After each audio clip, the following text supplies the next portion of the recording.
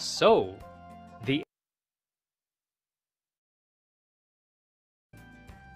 Therefore, the area of the triangle is half of 30, which is equal to 15 square units.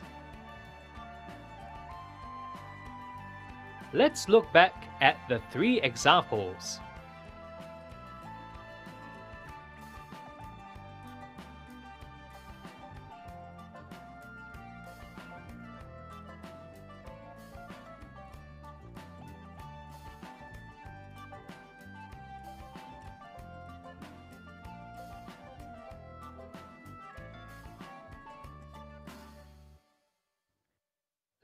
We know that the area of the triangle is half the area of its related rectangle.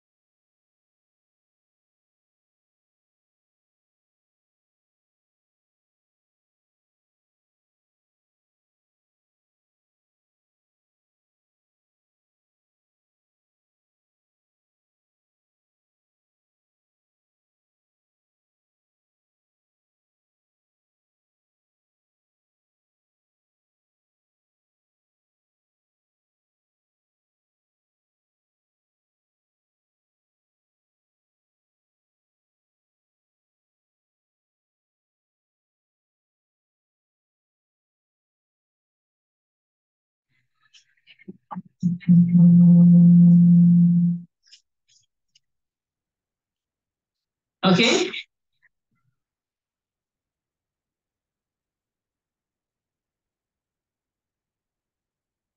So, from just now to now, I repeat one more time. Point number one. For all areas of triangle, I must remember the formula after the base and height. Number two, I need to identify base and height correctly. Number three, base and height is related by the property of perpendicularity. So you see that the base and height is always perpendicular to each other. Find the right angle. Next key, base of the triangle is always one side of the triangle, depending on where you are getting it to sit and start off. Okay, the height depends on where the head is. The apex sitting on its buttock, oh, you can almost see a segment here, right here, and then parts here. And then sometimes the height may be outside the triangle. Okay, more examples here. Last week we stopped here. Okay, the last thing is that we need to be comfortable with turning the paper around. So this one here, if I were to choose the base as here, as say that it's sitting on its butt here, then the base will be one, two, three, four, five, six, seven, seven units. And then the height here will be, look for perpendicular lines that touches the head to its buttock. So the apex of the triangle is upright, all the way down, meeting the base of the triangle, forming a right angle. This is the height. So in this case, it's 3 units. So the area will be half times 7 times 3.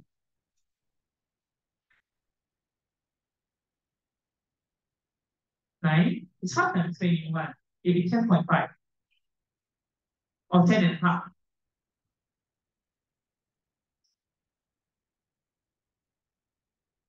Because three, 7 times 3 is 21. So 21 divided by 2 is 10 and a half. Okay?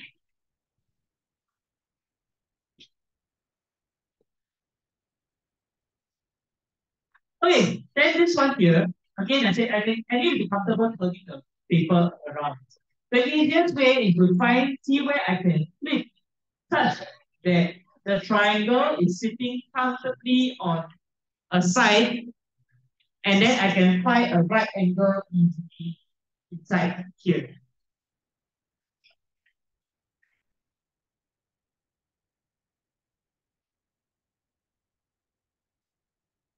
This is a straight line. Yeah, but not just a straight line. The all the if you're saying it's a straight line, all triangles are straight lines. The, the sides are straight lines. Then which one do I choose? Yeah, so you you you don't just need to look for a, the, a straight line. You also need to see whether it's easy to find a right angle with height. Whether I can find the head and the bottom, the matching head to the matching bottom. Okay. So in this case here, this triangle, all three sides are straight. But if I want to choose this as the bottom, it's difficult to find the height. If I want to choose this as the bottom, it's difficult to find the height. So I want to turn it to a way that it's easy to find the height because of the right angle. Which in this case, I'll choose this two. This particular base. Which here, from here, I can see easily, the base is one, two, three, four, five, six, six units. And the height, one, two, three, four, five, six. Also six units. Yeah, I'm doing upside down purposely. Can you understand why am I doing this upside down? Yeah. Yeah, so that you can see the height and, height and base better. But of course, when I turn it around, I got to write it properly. If Be careful, if you turn it around, you see, you write nine, you, then you wrong already. Okay, so I'm going to write it again. So the base is 6 units, the height is 6 units. So the area will be half times 6 times 6, which is I can cancel already. 3 times 6 is 80 square units.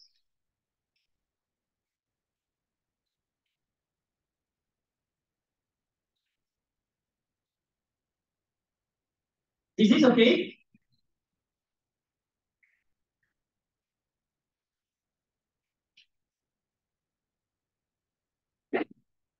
Now I want to do a harder question. These are all, I would say, simpler questions.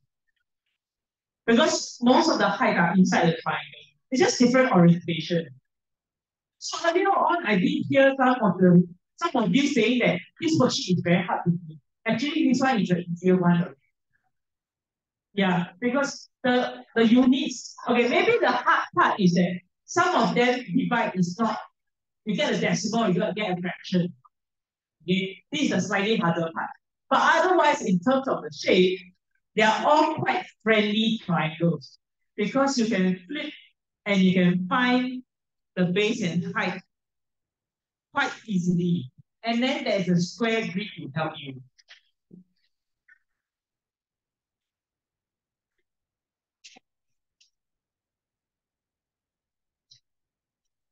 So I can see the base here is 1, 2, 3, 4, 5, 6, 7, 8. 8 units. The height, 1, 2, 3, 4, 5. 5 units. So I turn it around, the area will be half times 8 times 5. I can simplify this answer is 20 square units. These are questions I would say is relatively, considerably easy. Now, if you take out the worksheet that we were, that you had previously, you realize that the to identify the height and base is not that easy. Okay? Especially without the square grid. Okay? Done? I'm switching already. I'm looking at the worksheet, page 170. Pay attention.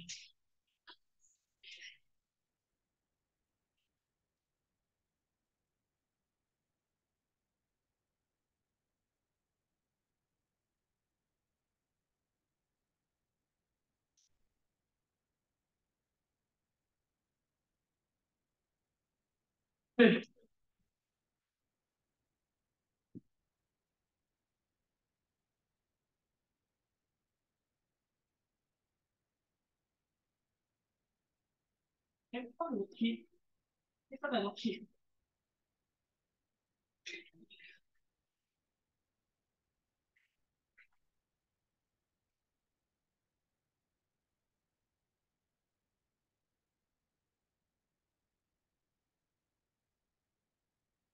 Okay. Now, with this, I pause here. I'm going to skip to the other side of worksheet. I'll come back here again. There's this part here that's quite interesting this last page here, called triangle solve. Actually, it's quite an interesting activity because you don't need to calculate the area. Okay? Then how are you going to solve these different triangles? Right? Okay, we'll come back to this later. I'm going to pause here and skip to the worksheets. Now, the workbook worksheets. I just gave out another set of worksheets that looks like this. Okay, I'm going to jump in between the worksheets right now and tell you your homework.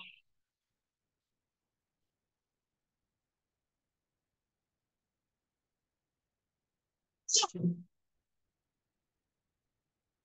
anybody mixing out the worksheet? We are looking at this page here. I have one that is nameless here. Any owners?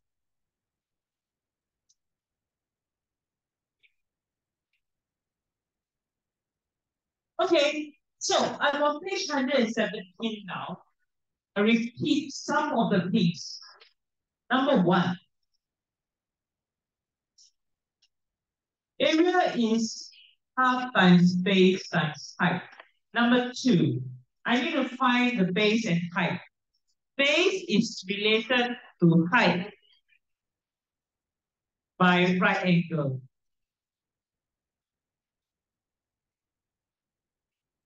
Three, base, the buttock, is always one side of the triangle.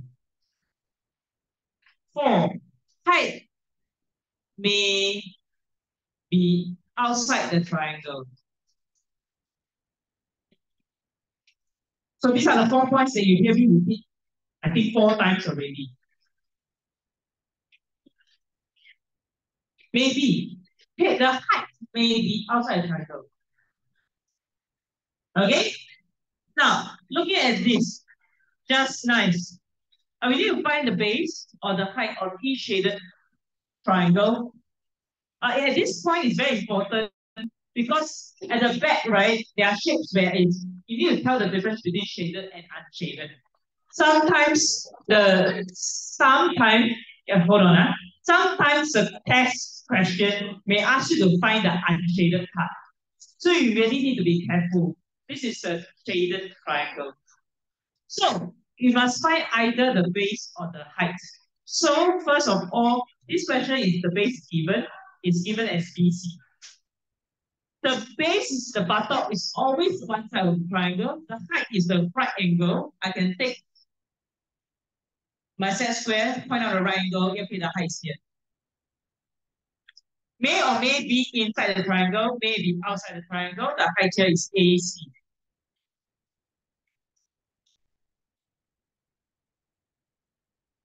Are you looking at the worksheet? You don't see the, the worksheet on the table. This was a previous worksheet. This is page 170. So you have the worksheet already inside of. This is the previous set, the introductory set. Okay? So for this one, this one, the height is given. So the base of the triangle, remember, is always one side of the triangle. This is the base, the buttock. So the buttock here is GE which means I can actually really draw a head here and then the butt here. Okay, and then the head here. Now, comes the challenging ones. The challenging one is that the height may not always be inside the triangle. It may sometimes be outside the triangle. What do I mean? For example, this one, this is an example. It shows you that the height is outside the triangle. This is the one.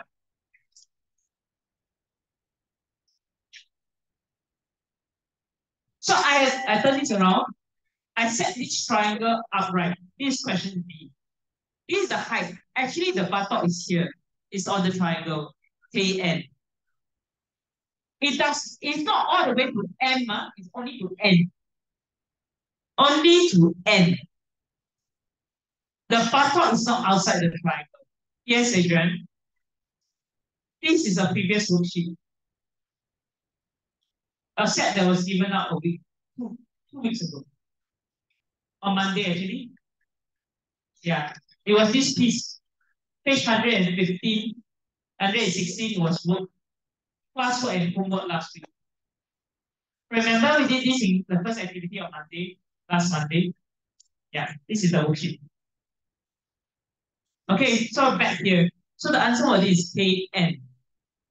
Actually, the challenge really is seeing that this is the height. It is outside the triangle. But the buttock here, it does not extend outside the triangle. It stays at the side of the triangle.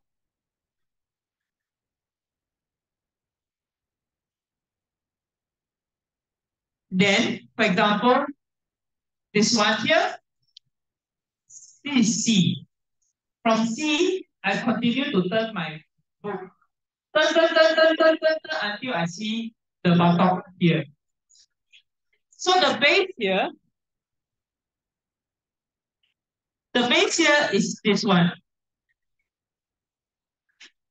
The height actually is here.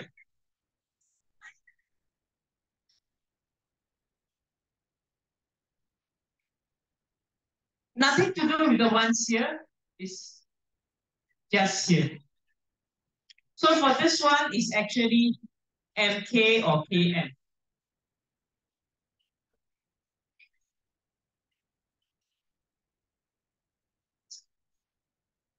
Now, please go back and try out.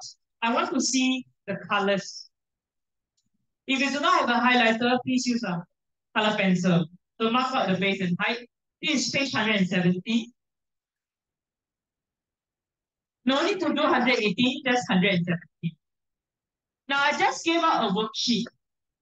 This one here, page 119 to page 119 as well. Try out. This looks just exactly like the one that I gave you earlier on. See? Yes? Okay. Then tomorrow we'll move on to look at more complex triangles like this one here, where the height can fall outside the triangle. Just 119 and 170. Okay? Okay? Okay? 117 and 119. I like to see the colors that you mark out base and height. Is that okay? Okay, you can pack out your bags. Omar is waiting for you.